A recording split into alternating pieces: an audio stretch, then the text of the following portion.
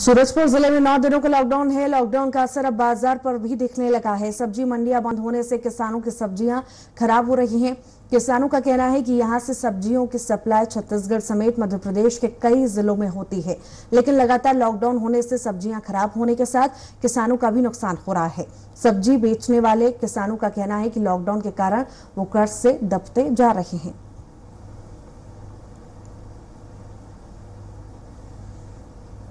पता नहीं सर, हम लोग का तो रात का नींद उड़ गया है। जिस दिन से सुने हैं कि लॉकडाउन हो रहा है, वो भी कंप्लीट सात दिन के लिए। मंडिया पूरी बंद है और हम ऐसा खेती लगाए हैं जो खीरे की खेती है, इसको हर एक दिन बाद तोड़ना रहता है। और उसको तोड़, अगर एक दिन बाद नहीं तोड़ेंगे तो गाय बैल भी नहीं खाएँगे, इतना मोटा हो जाता है। अभी बैगन है, टमाटर है, कई प्रकार का सब्ज़ी हम लोग का निकल रहा है। ऊपर से पानी वर्षा में भी सड़ रहा है। यदि एक सप्ताह का लॉकडाउन लग गया तो पूरा वैसे भी और सड़ जाएगा। उस स्थिति में तो हम लोग को काफ़ी नुकसान होगा।